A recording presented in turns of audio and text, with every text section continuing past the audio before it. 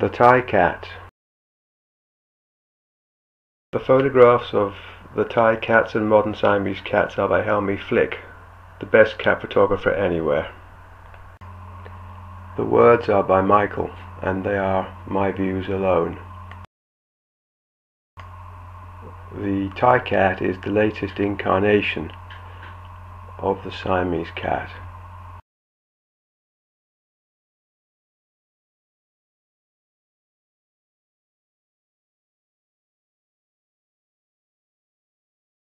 The first Siamese cat imported into the West happened in 1884 into the UK and that cat looked like the two cats you see here in black and white. The first cat is noticeably like the modern Thai cat, more so than the second. About 60 years after the first importation of the Siamese cat into the West, cat breeders began developing the modern Siamese cat, the culmination of which is the cat that you see in this photograph. I've called this the modern Siamese cat on my website.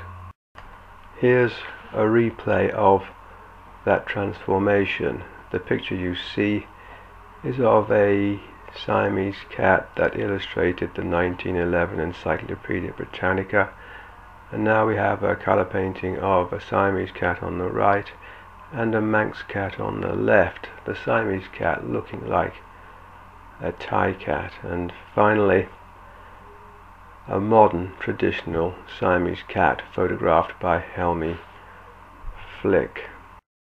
Here's that early Siamese cat again looking very much like a modern Thai cat. And here we have the modern Siamese cat again looking very elegant, rangy, with a thin head.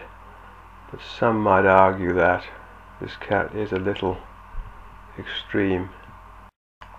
Traditional Siamese cat breeders were effectively shut out by the modern Siamese cat breed standard, and they were therefore prevented from showing their cats at cat shows, but they kept on breeding and stated their case.